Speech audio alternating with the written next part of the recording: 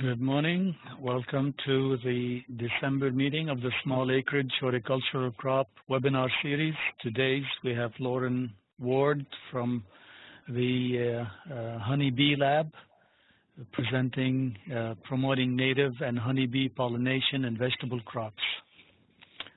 Lauren, please, the floor is yours. Thank you so much for inviting me. Um, good morning. So thank you for bearing with me through my first setting up of a webinar with very fancy borrowed equipment. Um, that never goes quite as planned. But yes, I'll be talking about both native and honeybees um, in vegetable crops. I can even touch a little bit on fruit crops as well. Um, so insect pollinators. So we think about bees a lot in insect pollination, but there's actually a lot of diversity out there. Um, these are definitely the most advanced pollinators, but we have things like butterflies and moths. Um, this moth is a, a night bloom busy moth on in this picture. Um, moths and butterflies are great. People love to see them in their adult stage, but the larval stage of a moth, very similar to this, is actually the tomato hornworm. Um, so, so usually people have a little bit of an issue with the, the immature stages of the lepidopteran pollinators, like butterflies and moths. Um, also beetles, I took this picture of beetle chowing down here. Um, they're more primitive pollinators. They do a certain amount of pollination. Um, they tend to be more destructive, however, as you can see from these flowers. So beetles are in there. Um, beetle-pollinated plants tend to be sort of these large bowl-shaped flowers, like um, magnolia is, is a good example. Where you have beetle pollination, they kind of have a sickly sweet smell almost whereas the moths and butterflies tend to go for a lighter smell, except in the night flowers. Uh, we also have a lot of pollination with Diptera. I would say uh, the Diptera are probably the second most important pollinator group, um, actually even above the Lepidoptera, so the flies. Um, this is a fly that's actually a little bit trying to mimic Boston bees, so it doesn't get eaten. Um, but the Diptera pollinate, or the flies pollinate quite a few crops as well. Um, about 70% of all the angiosperms of flowering plants are pollinated by insects. So that's a vast majority. The angiosperms are the most hyperdiverse, largest group of plants. Others are pollinated um, primarily by wind. Uh, so all the grasses, sedges, a lot of the common trees like oak trees are pollinated by wind. This does not mean that pollinators don't, or at least bees, do not collect pollen from some of these. It just means that the plant doesn't need the bee.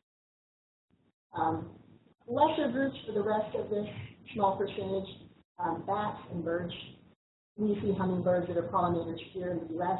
Um, in South America and, sort of into the neotropics and tropics, bats become a much more important uh, pollinator than elsewhere.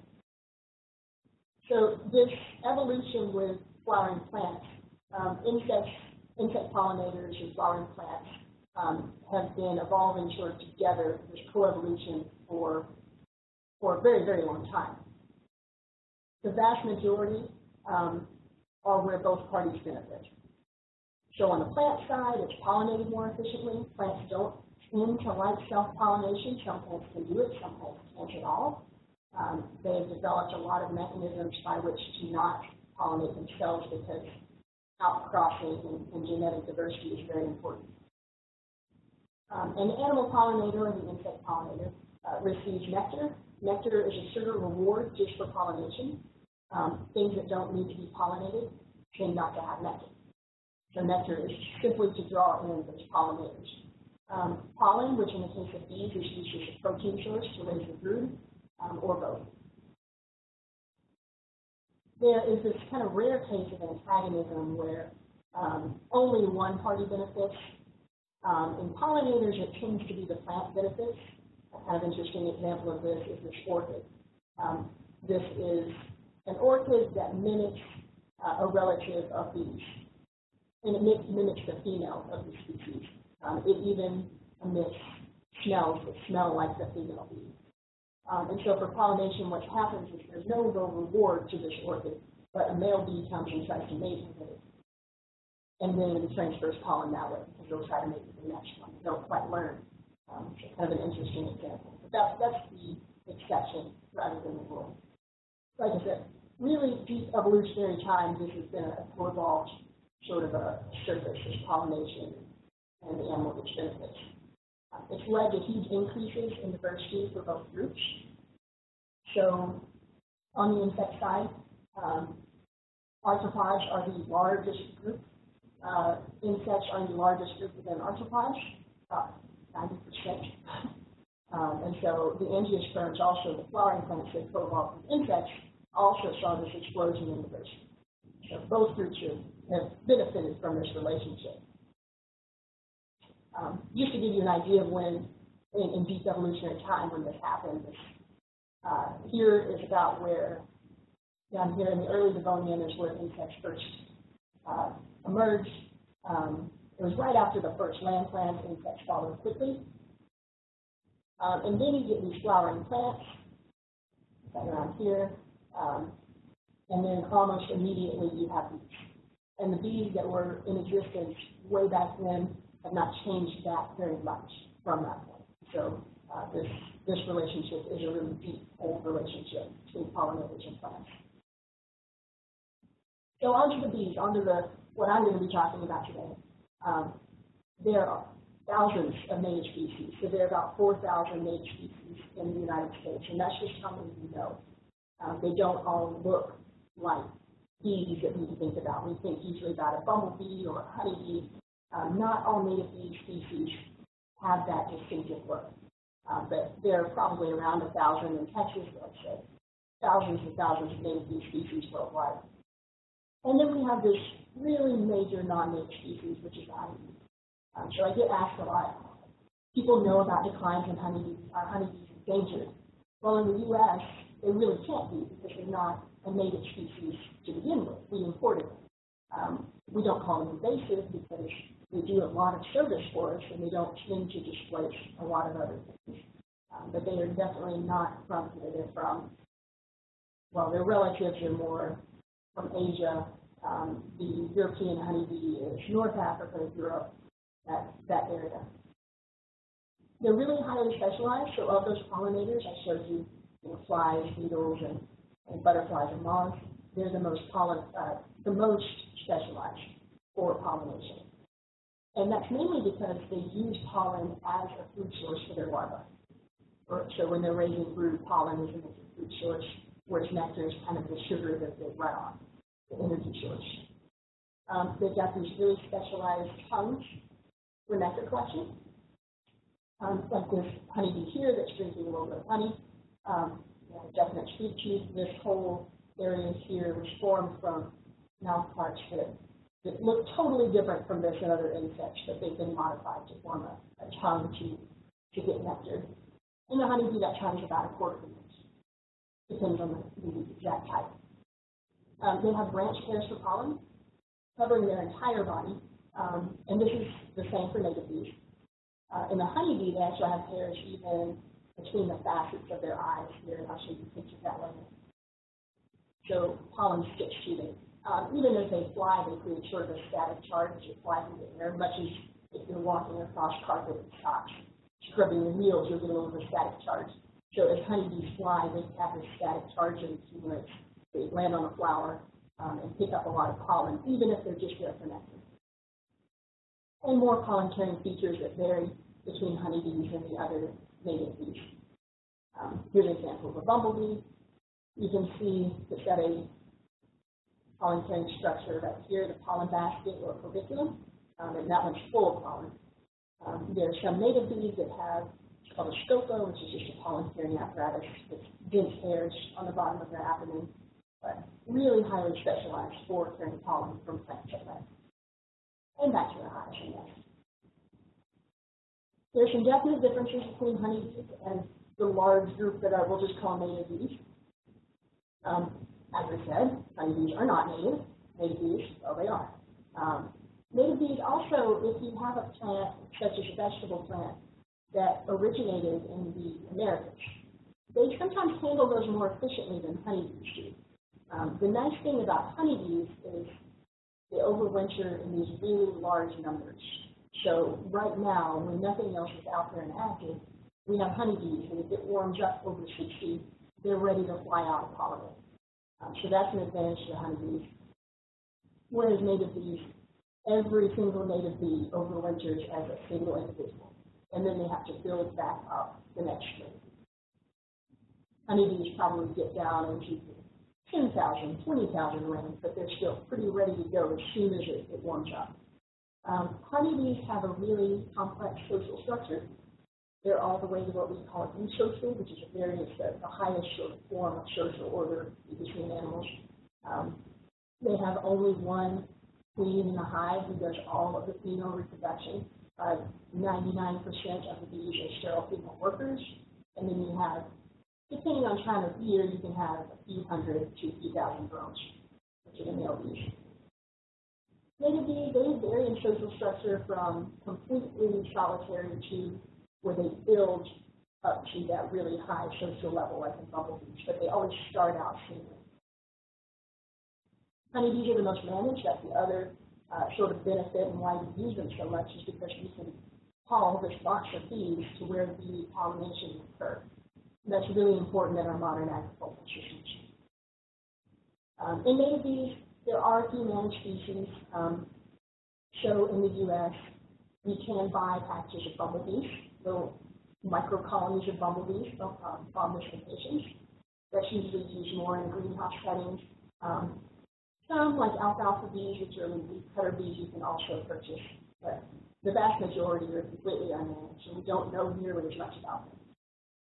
Here's just an example of the diversity of bees. This is actually from California, but Texas would look fairly similar in that there's a wide variety of look to native bee.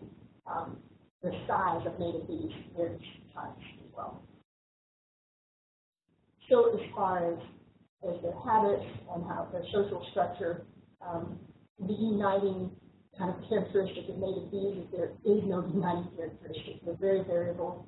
Uh, their social structures, like I said, could be solitary bees, um, all the way up to up to bumblebees at the end of the year before they, they kind of all fall to pieces, where you do have one one queen who's doing all the reproduction and, and uh, sterile fabricated sterile worker caste, etc. Um, nesting. So when I talk about maybe bees later, this is very important. Um, nesting varies as well, whereas honeybees, managed bees, we're, we're pretty familiar with beehives. Um, but in native bees, you have different categories. So you have bees that actively go dig a hole either in the ground or in sort of uh, more porous or picky um, stems, twigs, leaves, that kind of thing. There's a, there's a European uh, bee, native bee that is burrowed in the ground. Um, hole nesters, this is where your bumblebees fall, and most people don't know much about how bumblebees actually live out in the field, but um, what happens with hole nesters is they find an existing hole and they take over that hole.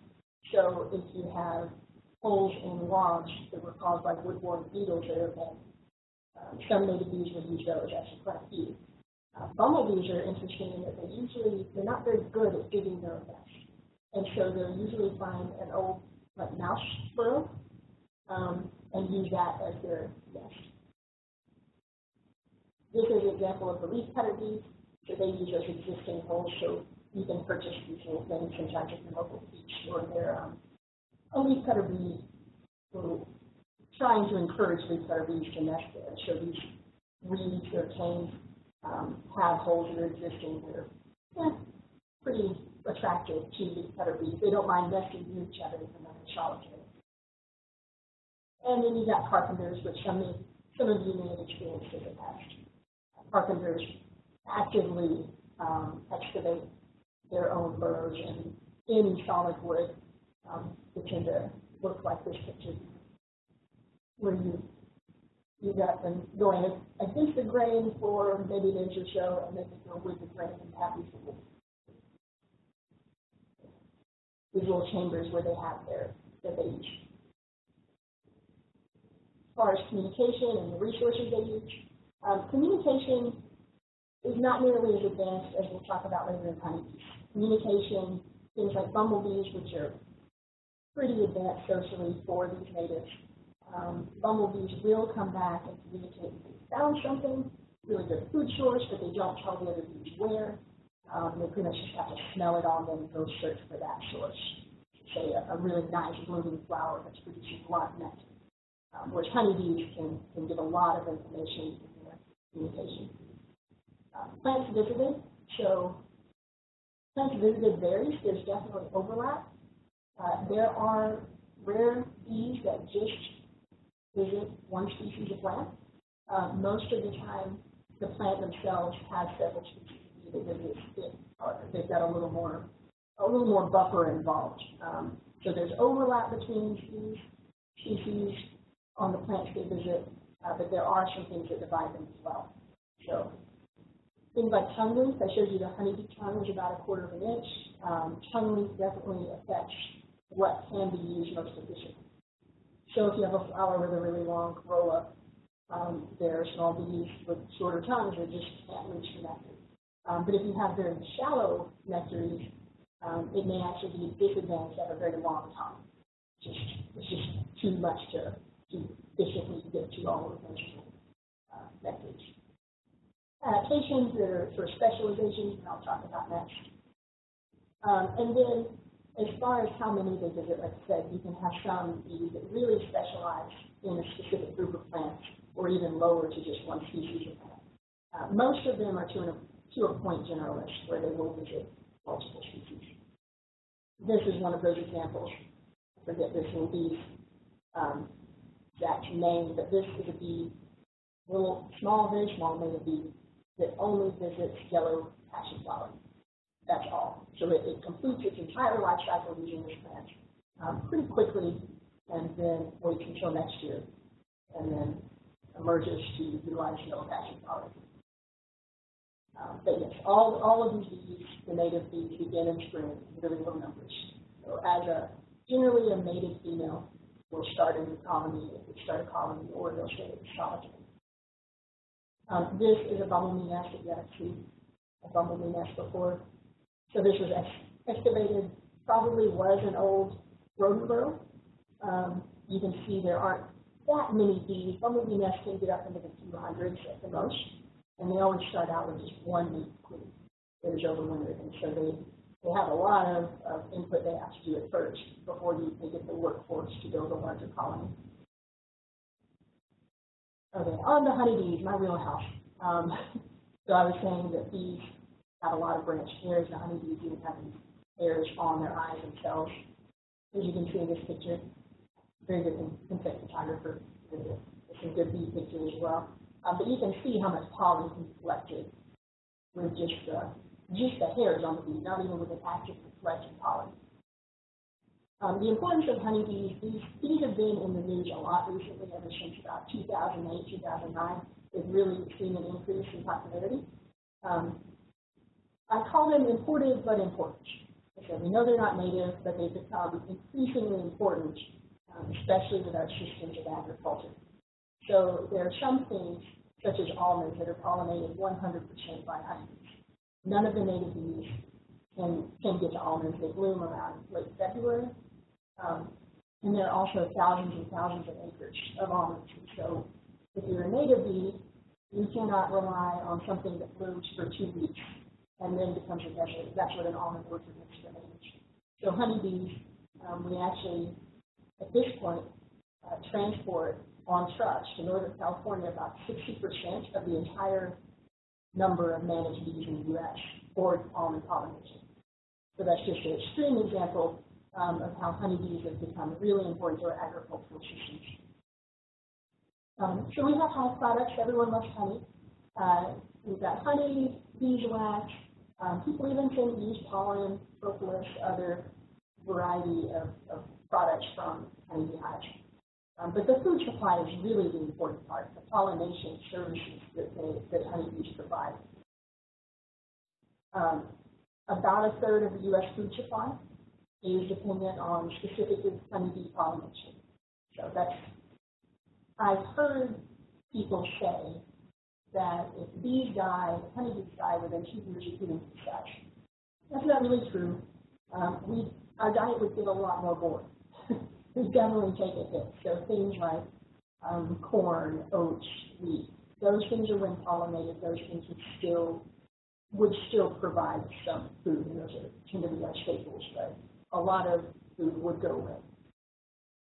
Um, about 15, and actually that number, based on, on sort of more recent government reports, may have increased about 17 billion. But over 15 billion dollars was added to the U.S. economy uh, by pollination services by honeybees. Um, they're really interested in study, and said they have this high, high form of social order, uh, where you've got um, one queen, here's the queen right in the middle. Um, she's the only one that lays eggs. She's the one that, that has, these are all her daughters.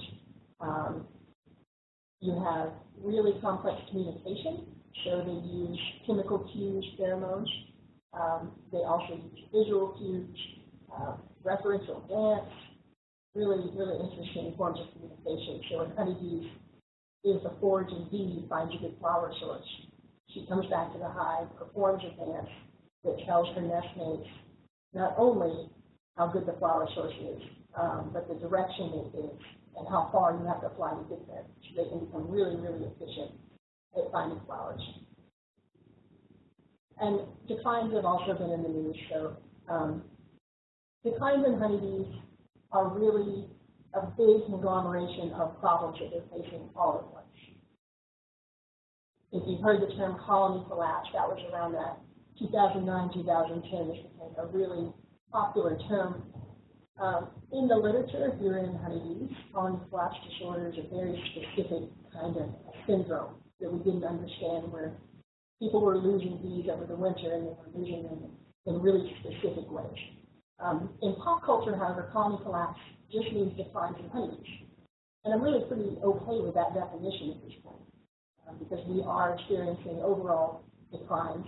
If you're a beekeeper, um, you you lose more hives in the winter than you to by far.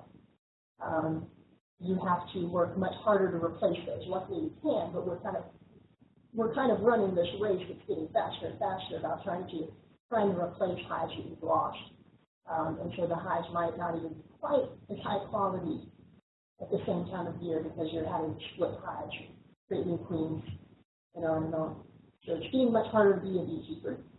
Um, and there's a lot of demand for bees. Like I said, in almonds, they have to have them. Um, a lot of people pay for pollination services. Uh, parasites and disease. This is a really big problem that honeybees are facing. Um, if you can see Christian bravely holding this honeybee, uh, this here is a varroa. That's one of the most major, it is, it is the most major pest for the U.S. right now, honeybees. Um, a lot of the pests are fairly recent introductions. This one of 1985 that it, it came to the U.S. and now it is ubiquitous. If you have honeybees, you have varroa mite pests. Um, the other problem with varroa mites is that they vector diseases. So uh, they work much like a tick. They have these mouth parts, they, they suck the bee blood, um, and they vector diseases, sort of like a little dirty hypodermic needle going from bee to. Overall stress, so especially in commercial beekeeping operations, this has been pointed out as maybe a problem that we're, I mean, we're hauling these bees from Texas to Northern California. You know, that is a very stressful sort of a lifestyle. They are there pollinating pretty frantically, then they're launched back up again and hauled across the, the U.S. to usually blueberries or apples. Um, so it's a different management system than we've had to do in the past. Uh, pesticides, and I say plus. So pesticides are a problem in honeybees. They're exposed to a lot of different plants that have pesticides applied to them. Um, I say plus because even things like uh, herbicides and fungicides that hypothetically do not affect bees, there's evidence that sometimes when you mix them with pesticides or other things, they, they possibly could in some cases. Um, and they definitely transport them back to the hive where they show up in wax samples and vector samples. And available sources of nutrition. So our landscape is greatly modified. um, honeybees sometimes have a hard time finding food, and more often even than that, they have a hard time finding diverse food. Um, so they get all their protein from pollen. And not all pollen is created equal. I kind of tell people, uh, in the case of almonds, so when you transport bees to almonds, they only have almonds. um, and so even if it's a very nutritionally good pollen that they're collecting from almonds, that's all they have. And so if you eat broccoli, it's healthy, but if you eat broccoli one hundred percent of the time, you develop some issues. So they're underlying all this, they're facing nutrition problems. And I bolded these two because as a person growing vegetables, um, or other crops, you, you really can affect these two problems in honeybees. This is Marla Spivak, she's at the University of Minnesota. She, she does a lot on um, honeybee nutrition. Um, if you get a chance, she's got a older but very good TED Talk actually on this topic. So I said I would talk a little bit about specializations that pollinators, especially bees, honeybees, and native bees, um, experience with plants. So sonication. Um, sonication is a thing that honeybees do not do, for one. Uh, this is what we call buzz pollination, it's a more common term. Some plants, the way that their anthers are, um, they don't open, they have a little pore at the. Um, pollen is not readily accessible. So what happens to happen, this is, is common in many members of the Solanaceae, such as tomatoes be the most common example, um, is that bee, like said, honeybees won't do it, um, but native bees like bumblebees have to come up, grab onto the flower, and vibrate their wing muscles um, to the point which that pollen falls out. So this is this is a bumblebee doing buzz pollination. But yeah, the pollen is kind of tightly held. It's not just exposed to the world. Um, so the bumblebee has to vibrate it out at a very specific frequency. Um, another specialization, like I said, how these uh, these bees partition the flower resources that they use um, is trying to, I briefly mentioned this earlier, um, but for example, this tiny little sweat bee here, um, even though its tongue length is, is pretty decent for its size, it's just not going to cut it if it gets in touch with a flower with a really deep corolla. Um, whereas this bumblebee has a tongue that's, you know, getting up to that third of an inch, half inch range almost sometimes, depending on their body size and so they can kind of partition out. But if the if the bumblebee went to a flower like this little composite flower where everything's very of short distances, um, they're actually not nearly as efficient as the small bees. And so that's how there there are these groupings based on type. Um, another really kind of interesting one to me, and you don't really get it in vegetables, but but uh, a lot of people are familiar with alfalfa, forage, you get in that, um, are tripping mechanisms and access issues. So these are mechanisms that plants have developed um, to be efficiently pollinated, pretty much. But they often limit some bee visits. So there will be bees that can use them, and there will be bees that cannot. Um, alfalfa, honeybees don't pollinate it well. Um, it has a tripping mechanism that I'll show you in a minute. Um, there's a little leaf cutter bee that we import for alfalfa pollination. So this is not alfalfa, but it's a, a bigger example of the same sort of tripping mechanism. Um, pretty much when a bee lands on this, this room flower, um, if it is the correct bee, in this case it's probably more weight, uh, the anthers spring up pretty much hit the bee, um, deposit a lot of pollen on them. Um, honeybees cannot do this with alfalfa. So honeybees tend to kind of like through the side, or kind of get to the nectar through the side, and they're not nearly as efficient at pollinating um, as, as things like our alfalfa bees and leaf cutter I about. Another, another access specialization is things like snapdragons, I think, um, this picture. So they have these petals that pretty much are fused and must be pushed down for the bee to access the pollen and nectar. Um, so this bumblebee was just heavy enough to push these petals down, but a lot of bees aren't. I've actually seen honeybees get into a snapdragon and they get a little cold and not quite be able to push their way back out. Here's an example of what the flower does not want and why a lot of these specializations occur. Um, this is a took uh, sometime around October, and it's a very large carpenter bee in a long tube but narrow flower where it's just bypassing what the flower wants in pollination, going sliding through the base and going straight to the nectar situation. Um, and as payoff for their pollination services, and as I said, um, uh, bees receive a lot of things, so they receive nectar. So that is only because the flower wants to be visited by a pollinator that they can be shepherd. Um, nectar, that's the, the fuel, the sugar source, the carbohydrates.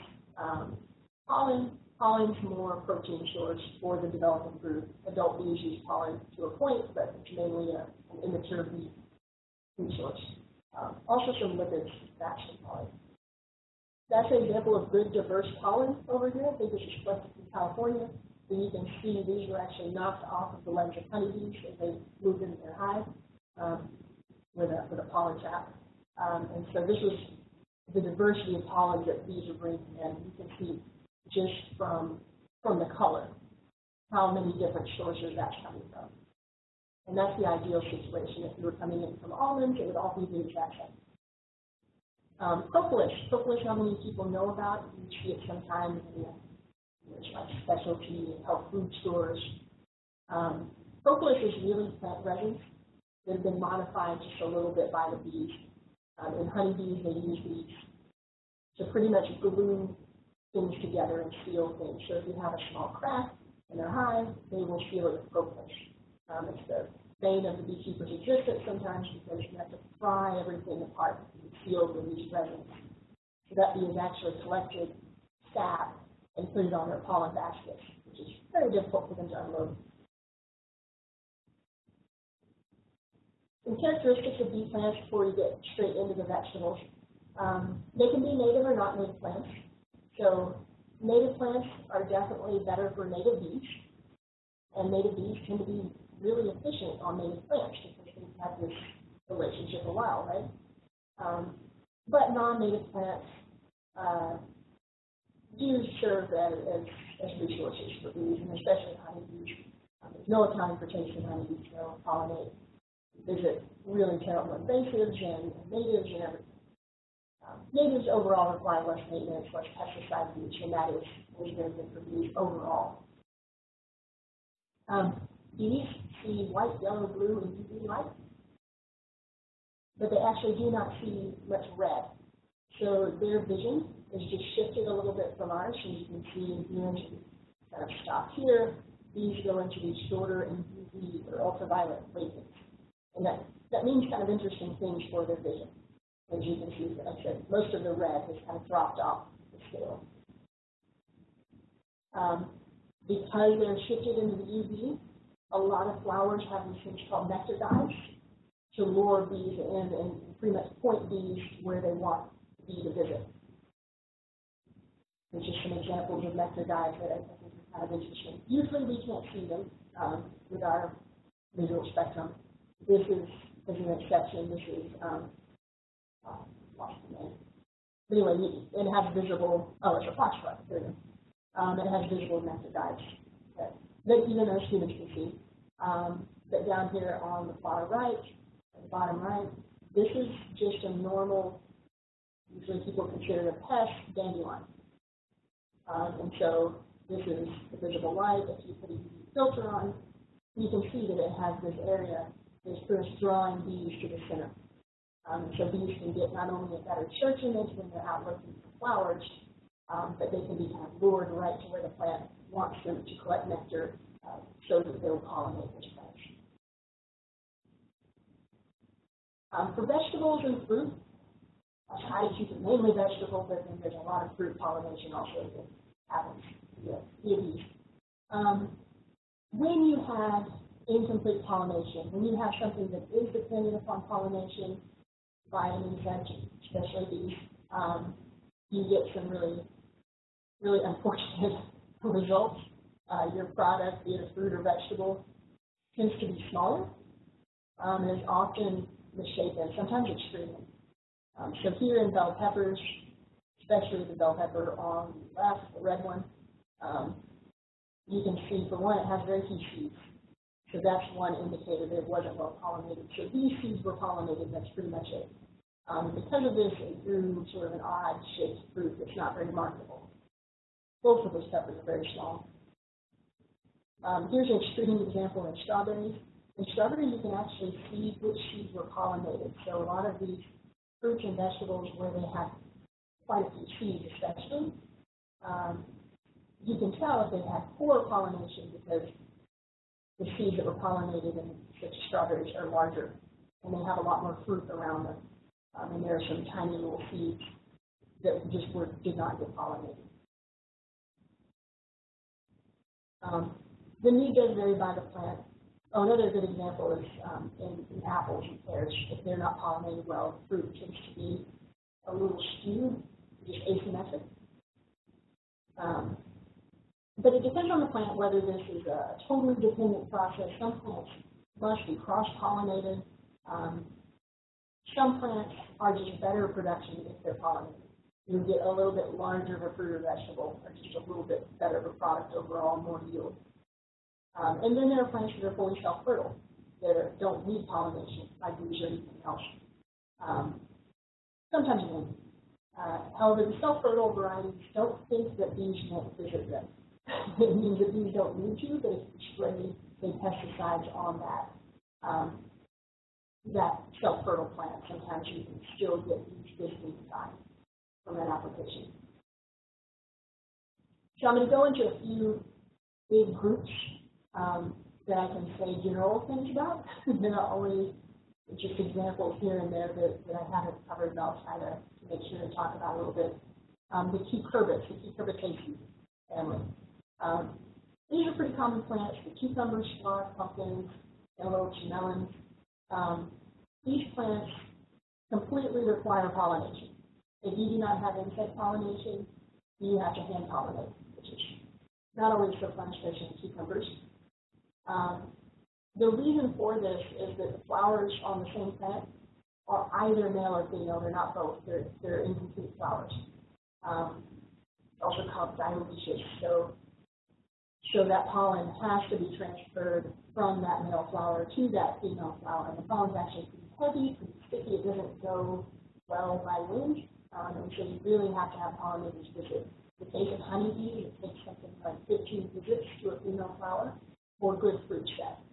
Um, you'll see this in the cucurbits when they get poorly pollinated, they will be smaller and misshapen, uh, just not right. There is a native specialist. Honeybees are great because there are a lot of honeybees, and so maybe you can get those 15 visits that female flower to get your good summer squash. Um, however, there are native specialists that if you have are really nice uh, efficient. Um, they're the squash bees, general term. Um, said honeybees can pollinate these cucurbits, but they're a lot less efficient than these these couple of genera of native bees, the squash bees. Um, squash bees, they're out earlier when these cucurbits are blooming, um, and they're actually modified, even the, the spacing of the hairs is correct for the collection of this really big pollen gland that the cucurbits produce. Um, so they're really efficient. They don't need nearly as many visits to a flower to fully pollinate it. Um, they just co-evolve better, basically, to these cucurbits, which are sort of a, a native of the Americas, so it makes sense. Um, you know, regionality, the exact genera, the Peponapis and Xenoglossa, the, the two different squash beans, we see a lot of peponation. And Peponapis uh, pruinosa, which is this, this picture down here, um, looks similar. They're about the size of honeybees. They look a little bit different if you're pretty versed. They don't have the striping as much on the abdomen.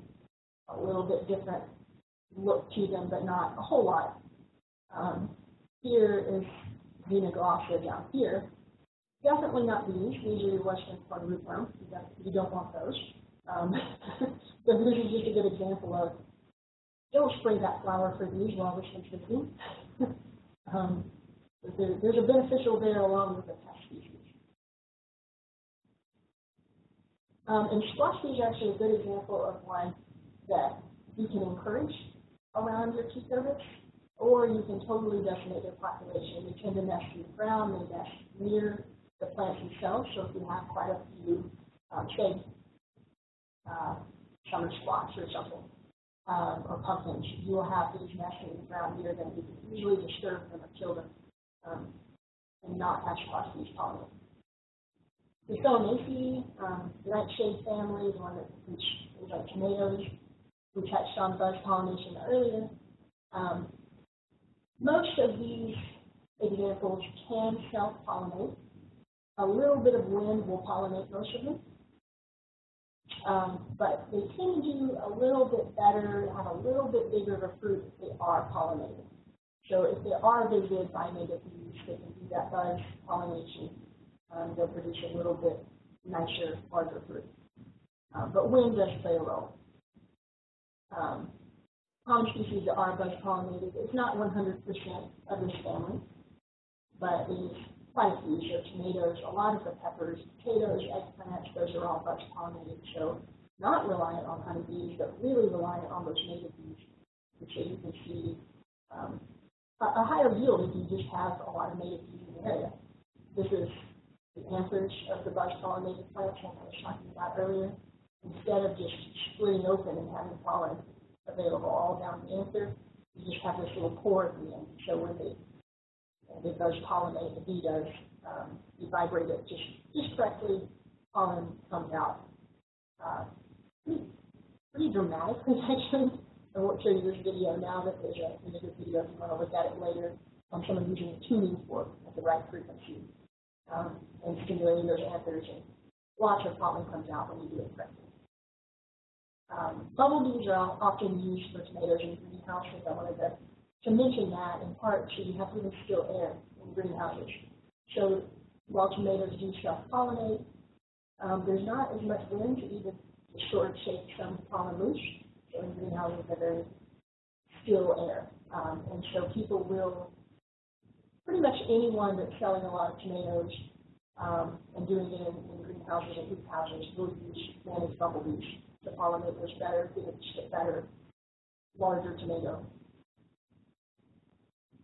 Um, another very broad category is the root and leaf vegetables. I put quite a few in here. They don't all belong to one family. They're a little bit all over the place. But these are the vegetables that you're not really produce, you're not really consuming um, the fruit or, or the, the fruit produced by the plant. And so you don't need pollination if you're just wanting that consumable part. Um, if you're needing seed, however, you still do a lot of the time. Um, so things like cabbages, a lot of the grass that you, um, where you're, you're eating the leaves, virtually. Um, things where you're eating the roots, uh, such as radishes, onions, or carrots. Um, these are things that pollinators will visit and are more or less dependent on pollinators. Um, however, you don't really need need that for the consumable part of. Um, this is someone that's let their, I guess, their onions and, and turnips maybe go to seed um, and pollinators actually love them. It's a great source of nutrition, great resource. Um, before I go on to pesticides, I want to mention again uh, the wind pollinated crops, things like corn. Um, corn is visited by bees, even though they don't really need bees to pollinate. And so if you're thinking, well, you know, I can use these coated seed treatments and produce corn and it doesn't affect anything. Well, it, it of does uh, because these, especially if they don't have a good resource elsewhere, will visit things to collect pollen, even even if the plant is wind pollinated. Um, another another good example of a vegetable that can use pollination but doesn't really fit into this category is okra. Um, you get mixed mixed reviews on pollination of okra because people are They often don't want it crossing with other varieties, but okra um, but similar to cotton, which is in the same family, does do a little bit better, a little bit better of a, of a product if it's pollinated by bees, and pretty regularly, regularly. On the pesticides, so overall, um, pesticides are going to be more harmful to your beneficial insects than they are to the pest. That's pretty much across the board. Uh, it's, an unfortunate thing. Um, but what happens is pest insects have been have been evolving in this arms race with plants for a long time. They're used to chemicals and things being thrown at them by the plant so that the plant avoids them feeding on them. And then they're used to adapting to that. Um, pollinators and other beneficial insects like predators and parasitoids they don't have that mechanism in place. They've never had to escape that, that chemical warfare that plants kind of pose. Um, and for that reason, they're not very good at detoxifying of these pesticides. Uh, they don't usually develop any resistance to the pesticide like the pest would. So across the board, um, pesticides are very toxic to bees and other beneficial insects. So my recommendations for that, if you've got your garden, vegetables, doesn't matter, just avoid them if possible. If you don't need to spray pesticide, don't. Um, read the labels. We're actually in the process of developing uh, labeling for pollinators in Texas. That should be out relatively soon. It has to be finished this year. So hits the shelf, so to speak. Uh, but read labels and, and apply to label directions. Um, and then lastly, and this is pretty simple, if you have to apply pesticides, try to apply them to avoid these. Uh, seems basic, but people don't think about this a lot. And my stepfather is a great example. He had apple trees that did not set any fruit because he applied a pesticide or a pest insect during the bloom period. He killed every bee that visited it. They didn't get a chance to even visit another flower before they died. Um, so just avoiding the time of, of that plant uh, cycle where it's will avoid killing a lot of bees if you have to apply pesticide. I have an important caveat to that next, but um, time of day also this depends. This is more a honeybee thing. Few honeybees are out very early or very late, so if you must apply around bloom, if you apply your pesticide closer to sunset, you're not likely to get really many bees. Native bees are very different in that, however, so you're still going to kill native bees, even if that dissipates by morning, the honeybees are back out. Um, I wanted to talk a little bit about neonicotinoids because they're a very big thing in the news. Uh, neonicotinoids, this is a new class of insecticide. And I say new, uh, they, they sort of began, I think the first one was in the 1990s in corporate. Um, it's a new type, which is nice because things aren't resistant to it yet. That's likely to happen. It's pretty widely used, so in the U.S. we use it in crops. It's actually been banned in Europe for a lot of crop research. Um, but if you notice this Home Depot shelf, not to pick on them specifically, but I haven't studied exactly every one of these, but pretty much every one is a neonicotinoid. Um, so neonicotinoids are widely available for public use um, and for landowner use. So, um, and they're actually used sometimes at concentrations well above what we see in crop situations. So if someone planting a cornfield, they're the ones we tend to think about, oh, they're killing the bees, or they have seed treatments that we neonicotinoids in all the corn now. Um, but they're actually applying at lower levels than we're using in our own backyards, which is kind of interesting. Um, so there's a lot of different methods that neonicotinoids are applied. Um, the, the way they work is actually, it's pretty safe for vertebrates, which is nice, um, but they, they work in the insect nervous system. Um, and they're really specific to insects. So they're not very toxic for us. That's great, but they're very toxic to insects, including bees. In fact, some of the original work on the nicotinoids used bee tissues as an example not to say that it was bad for bees, but just to show that it had insecticidal activity. Um, but yeah, there are a variety of ways to use. You can just do foliar sprays. Uh, seed coatings, like I said, pretty much all the corn out there has, I think, spiromethoxy or um, epoxy coating. Um, soil drenches, which is a little bit terrifying. Uh, also put it in irrigation water sometimes. So these neonicotinoids the really important thing to understand about them is that they are systemic. So regardless of how you use that product, it goes into the plant, it gets picked up by the vascular system, it goes throughout the plant. If you're combating something like a rootworm, that's great, because you can actually get to the roots of the plant under the dirt, right? Um, if you're a pollinator, that's not good, because that means that there's insecticides expressed in the pollen, expressed in the nectar. Um, and plants do this differently. They do break these down over time, but sometimes they have a resurgence, there's generally always a low level of this pesticide uh, that's being picked up by bees if they've been treated. Um, sometimes it gets to really low levels, but sometimes it's quite high to where you have actual just immediate death of these fishes. A good example of that would be the target bee kill that is all over the news. I don't know if y'all have heard about it, but it, in 2013, um, linden trees around the target Atlantic, which is the Pacific Northwest. They were sprayed with one of the neonicotinoids, a foliar spray, and the next day they had thousands and thousands of dead bees. um, so that, that's an example of something to avoid. Um, but regardless of how it's applied, like I said, it's expressed throughout the plant. It can actually maybe even seep into nearby plants if it's in the soil, so the seed coatings. Um, they have some evidence that so field edges may have some neonicotinoid uh, expression as well because it's in soil and other plants and stuff. So it is an issue with bees, um, but regardless of, of if they're maybe a little worse because they're systemic insecticides, just insecticides are toxic to bees. It doesn't really matter what they are, they pretty much are.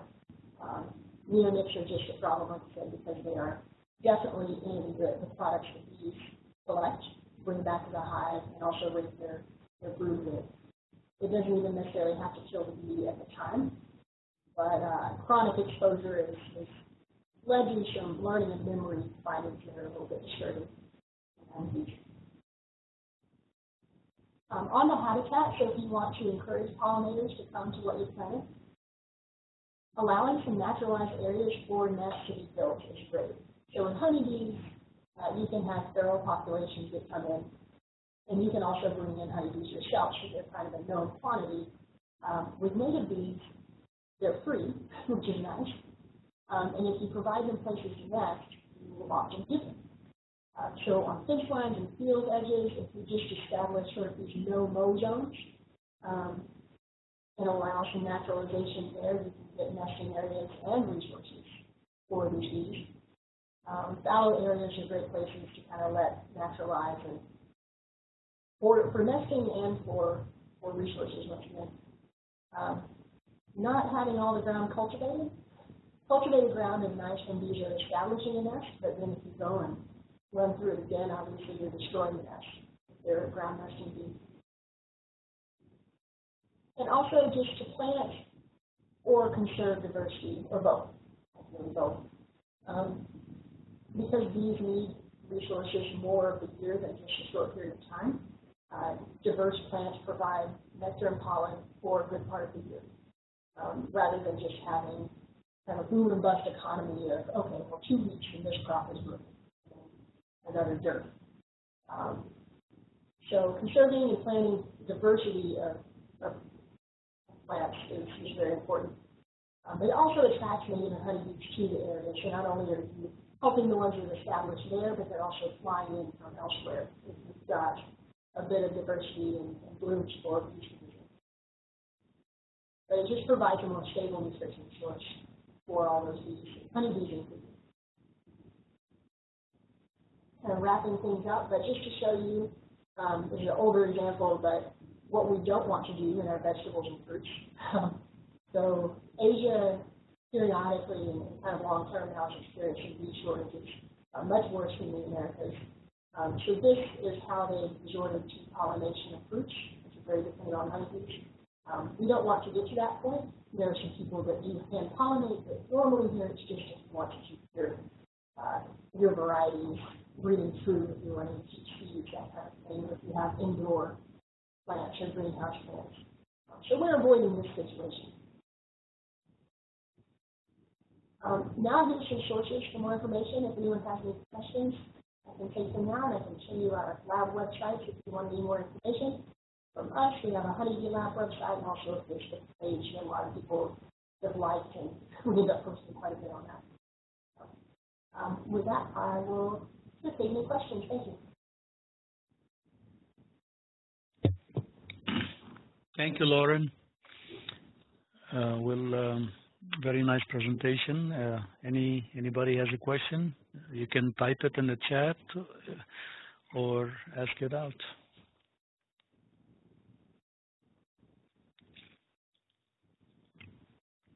Don't forget to fill in the evaluation forms and email them directly to Paul Pope. Okay, we have a question. Okay?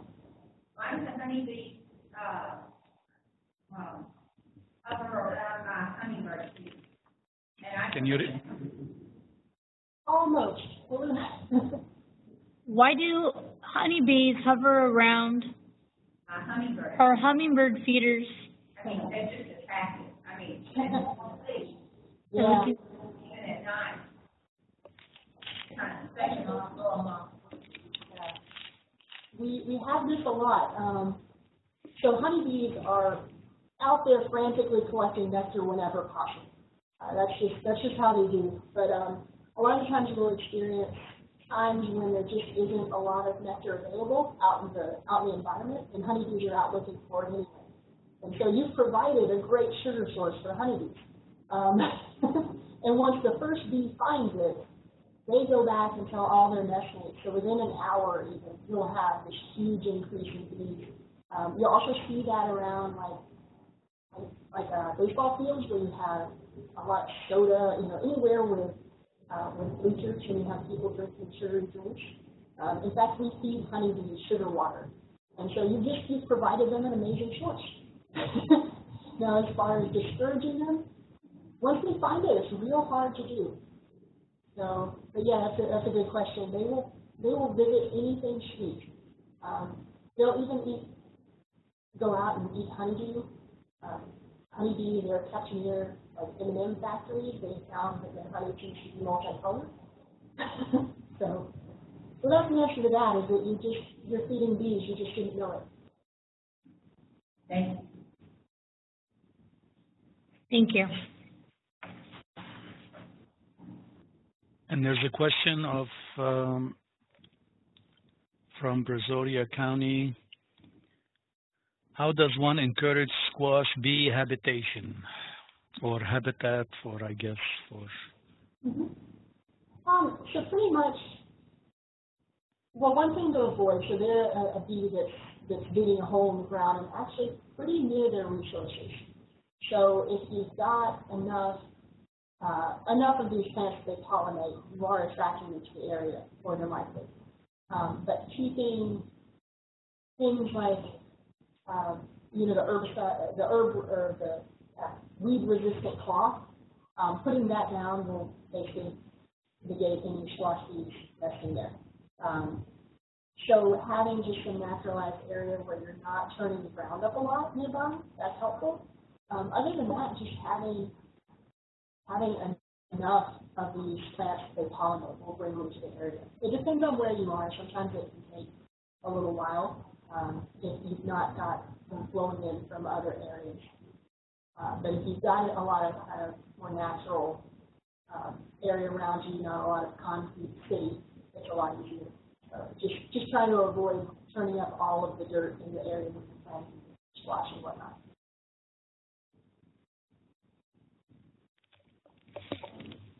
Thank you. And another question is, do bees that pollinate poison ivy transfer those chemicals to the honey?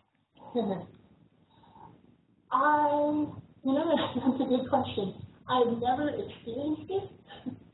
Um, bees will visit those and they'll, you know, they are flowers that are occasionally visited. I would say that at least it's, it's never to the point where I've noticed it. um, they don't collect so much off of those that you have just honey that was strictly from poison ivy.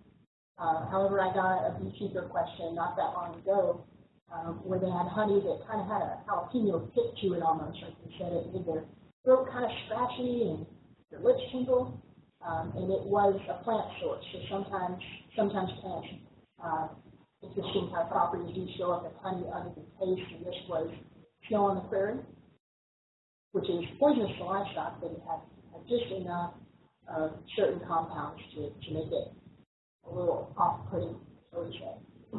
But yeah, I don't think poison ivy is ever a problem. It's interesting in an area where they had a whole lot of poison ivy, not much else. But I, I've never experienced that myself. Okay, and the last question, are you concerned about 2,4-D glyphosate-resistant crops and the increase of spraying that might result? Will that affect bees? Is this being studied? Yeah, so I'm not as aware of 2,4-D specifically, but I know that there are a lot of studies that are showing that regardless of what is, what happens when these chemicals are, are ingested by the bee, they are bringing it back. Um, so even things like Roundup are being brought back. Now 2,4-D, I mean, I'm aware of what that looks like when you spray. Um, a lot of the, the crops are being sprayed along with herbicides. Uh, a side effect that, that is a real problem for bees, even if they don't um, have a lot of toxicity. The 2,4-D is not highly toxic to bees. Like I said, I have to look into that specific one.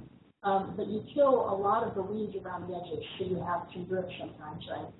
Um, you kill a lot of those field edge weeds that are important resources for the bees.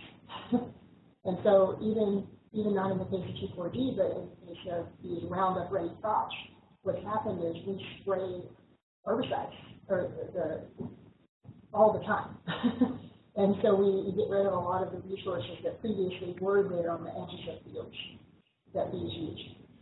It is it is definitely an issue that I would like to I'd like to know more about 2,4-D. A lot of times those compounds they're either not indicated as toxic or only when another thing is mixed in will they become toxic.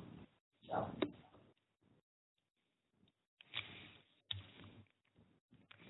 All right, last question from Brazoria County.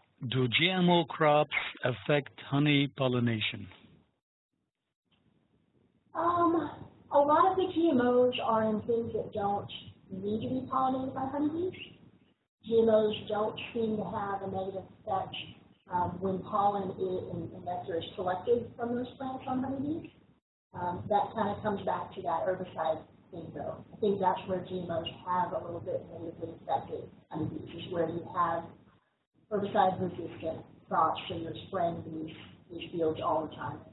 Um, so GMOs in that way have just reduced the, the diversity of, we'll call them weeds, near the edges of those fields quite a lot. But they themselves are pretty pretty safe for the bees that are making. Um, cotton is a, is a big one that we have, and um, the corn, they'll visit, they'll collect that pollen. Um, they are more specific than the systemic pesticides. So uh, things like sometimes they'll only kill the lepidoptera, butterflies and moths. Um, that was why there's a concern with monarchs with some of these, GMO crops. But honeybees at least don't have that direct toxic effect, but they do they do see a reduction in their other resources sometimes because of these. Excellent. Thank you very much, Lauren. Appreciate it. With that, I thank you again and wish everybody Merry Christmas and a Happy New Year. Well, good Christmas. Thank you. Merry Christmas. Thank you. Bye.